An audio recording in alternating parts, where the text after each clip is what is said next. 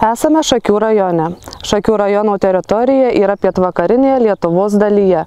Net 68 procentus teritorijos sudaro derlingo žemės ūkio naudmenos.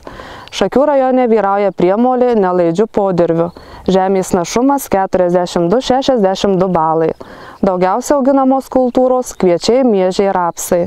Šį pavasarį Šakių rajone vasarosėje prasidėjo anksti ir iki balandžio vidurio buvo užsėta beveik visi vasariniams kultūrams skirti plotai. Prasidėjus pavasariui prasidėjo žemės ūkio augalų intensyvaus augimo periodas, kuriam labai reikalinga šiluma bei drėgmė. Tačiau pavasaris augalams buvo labai permainingas. Šiltą ir sausą orą keitė trumpalaikis lietus bei stiprios šalnos siekusios iki 6 laipsnių šalčių. Šiandieninis lietus Šakių rajone tik iš dalies sumažins kritulių trūkumą. Nuo šiandien pradedami dinaminiai stebėjimai vasarinių kviečių pasėlyje. Šiame laukia pasėti vasariniai kviečiai Zenon. Pasėti balandžio 8 dieną. Sėjaus norma 200 kg hektarą. Ankstyvos sėjaus derlingame dirbožemyje auginamų vasarinių kviečių šaknys yra pakankamai vešlius. Tačiau to vis tiek nepakanka sausros sąlygomis, kuomet augalai dėl drėgmės trūkumo nepajėgia iš dirbos įsisavinti reikiamo kiekio maisto medžiagų. Trešiant vasarinių javų pasėlius labai svarbu, kad būtų sunaikintos pasėliuose išplitusios pikžolės. Šiame vasarinių kviečių pasėlyje vyroja dvi skiltys pikžolės, tokios kaip balandos, garstukai, lipikai. Todėl rekomenduojame panaudoti herbicidą, kuris naikina dvi skiltės pikžolės.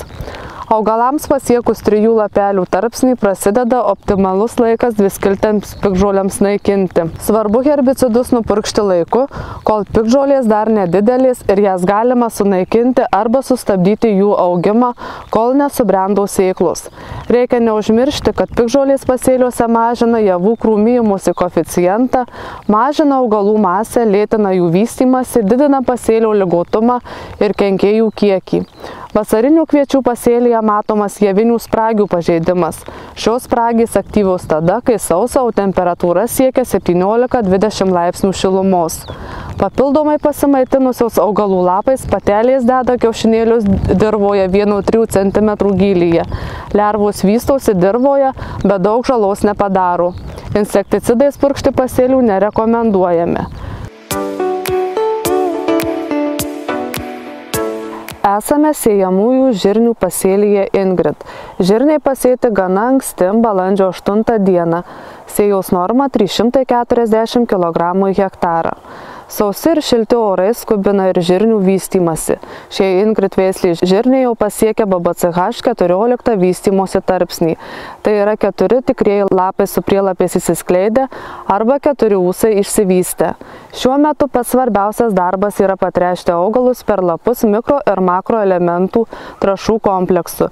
Jis padės augalams geriau ištverti sausesnį orą ir apsirūpinti reikiamomis maisto medžiagomis.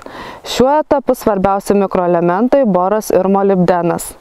Dažniausiai žirnių pasėliuose stebimas gumbelinių straubliukų sitonų paplitimas. Apvalios iškandos žirnių lapų pakraščiuose rodo, kad šiame lauke yra pavojingų kenkėjų sitonų. Laukas pažeistas sitonų beveik 100 procentų. Augalai per daug nenukenčia nuo sitonų saugelių pažeidimų, išskyrus tuos atvejus, kai jų yra gausiai žirnių dygimo metu. Daug daugiau žalos padaro lervos, maitindamosi azotą fiksuojančiai šaknų gumbeliais. Gumbelinių straubliukų pažeidimai paprastai žymesni lauko pakraščiuose. Šių kenkėjų žalingumo riba 5-10 vabalų kvadratinėme metre. Todėl kenkėjams pasiekus žalingumo ribą žirnius reikėtų nupurkšti kontaktiniais insekticidais. Kadangi šiame žirnių lauke nebuvo panaudoti herbicidai, todėl rekomenduojame artimiausiomis dienomis nupurkšti herbicidu, skirtu naudoti po žirnių sudygimų. Esame žieminių kviečių Skagen laukia. Žieminiai kviečiai pasėti praeitų metų rugsėjo 7 dieną. Tai pakankamai ankstyva sėja pagal optimalius sėjos terminus Šakių rajone, kurie yra rugsėjo 10-20 diena. Taip anksti pasėti leido šiltas ir sausas ruduo. Šiai dienai žieminiai kviečiai yra pasiekę BBCH 32-33 vystymosi tarpsnį. Kad žieminiai kviečiai galėtų normaliai aukti ir vystytis, Jiems reikalingas pakankamas maisto medžiagų kiekis.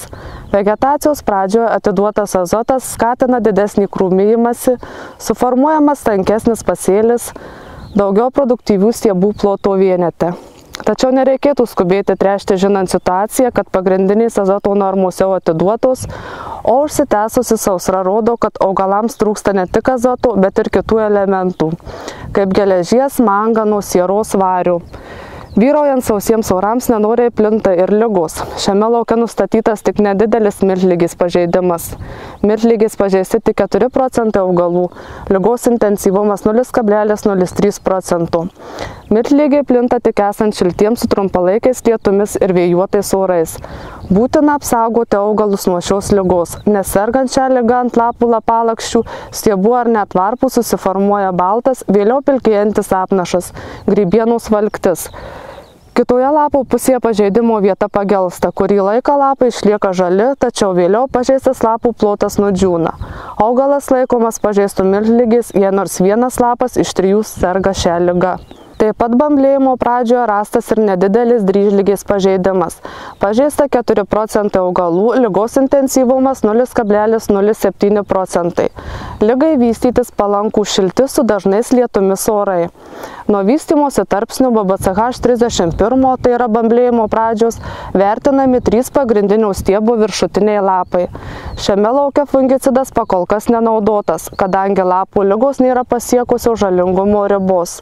Tačiau reikia stebėti pasėlį, jei susiklausytų tinkamos sąlygos lygoms plisti ir jos pasiektų žalingumo ribą, reikėtų panaudoti fungicidą.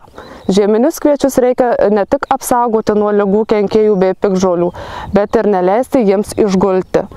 Jei javai išgula žydėjimo metu, derliaus nuostoliai siekia 30-50 procentų ir daugiau. Todėl žieminiuose kviečiuose naudojamas augimo reguliatorius. Šiame pasėlėje žieminiai kviečiai krūmėjimosi tarpsnyje nupirkšti augimo reguliatoriumi, kurio veiklioji medžiaga chlormekvat chloridas. Kuomet apčiuopiamas antrasis stiebų bamblys, rekomenduojama panaudoti antrą kartą augimo reguliatorių kurio veiklioji medžiaga trineksapak etilas. Tačiau šiame laukia augimo reguliatorius antrą kartą nenaudotas, nes jau sausra padarė šį darbą. Tai yra pristabdė augimą.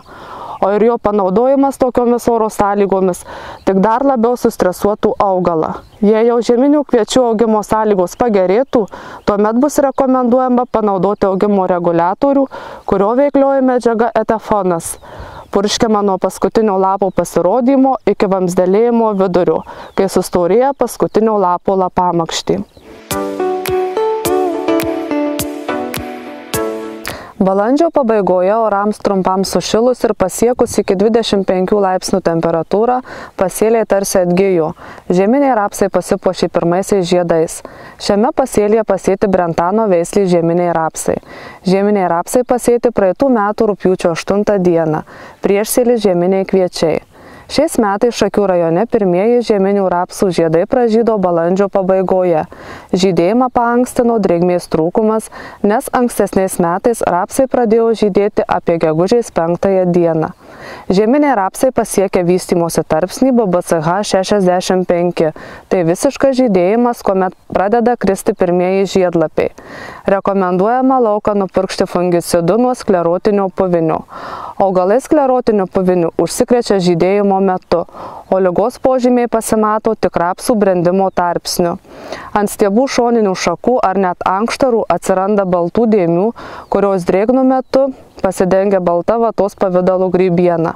Stiebas pažeidimo vietose būna tuščia viduris, jo viduje susiformuoja įvairaus dydžio juodi skleročiai. Pažeisti augalai bręsta anksčiau laikų. Kai rapsų žydėjimas eina į pabaigą ir jau būna susiformavusios ankštaros, reikėtų atkreipti dėmesį, ar nėra daug žalos padarančių kenkėjų - ankštarinių paslėptas traublių ir ankštarinių gumbavadžių. Siekiant išsaugoti sveikas ankštaras, rapsų žydėjimui baigiantis rekomenduojama pasėlius purkšti sisteminio poveikio insekticidu. Primenu, kad žydinčius žieminių rapsų laukus insekticidais ir fungicidais galima purkšti tik užregistravus purškimą prieš dvi kalendorinės dienas per paraiškų prieimimo informacinę sistemą PPS. Purškimą galima atlikti tik nuo 9 val. vakaro iki 4 val. ryto. Kviečiu prisijungti prie integruotos augalų apsaugos informavimo, konsultavimo ir mokymo informacinės sistemos IKMIS. Prisijungę prie sistemos IKMIS, jūs būsite operatyviai informuoti apie kenksmingųjų organizmų plitimą įvairių žemės ūkio augalų pasėliuose visose šalies rajonuose. O dėl individualių konsultacijų kreiptis į savo rajono Lietuvo žemės ūkio konsultavimo tarnybos biuro augalininkystės konsultantą. Thank you. Música